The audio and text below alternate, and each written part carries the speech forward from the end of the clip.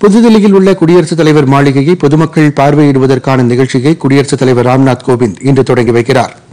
அதன்படி பொதுமக்கள் இன்று முதல் அடுத்த மாதம் இருபத்தோராம் தேதி வரை காலை பத்து மணி முதல் மாலை ஐந்து மணி வரை குடியரசுத் தலைவர் மாளிகையை சுற்றி பார்க்க ஏற்பாடு செய்யப்பட்டுள்ளது. அங்குள்ள முகலாயர் தோட்டம் அருங்காட்சியகம் குடியரசுத் தலைவர் மாளிகை ஆகியவற்றை பொதுமக்கள் பார்வையிட முடியும். இணையதளம் வழியாக மட்டுமே அதற்கான அனுமதிச் சீட்டை பெற முடியும் என்றும் ஒவ்வொரு நிகழ்வுக்கும் அதிகபட்சமாக நூறு பேர் மட்டுமே அனுமதிக்கப்படுவார்கள் என்றும் குடியரசுத் தலைவர் மாளிகை நிர்வாகம் தெரிவித்துள்ளது. பொதுமக்கள் முகக்கவசம் தனிநபர் இடைவெளி ஆகிய கொரோனா கட்டுப்பாடுகளை பின்பற்ற வேண்டும் என்றும் அறிவுறுத்தப்பட்டுள்ளது. பொதுமக்கள் தங்களுடன் எந்தவிதமான உடைமைகளையும் எடுத்து வர அனுமதி இல்லை என்றும் கூறப்பட்டுள்ளது.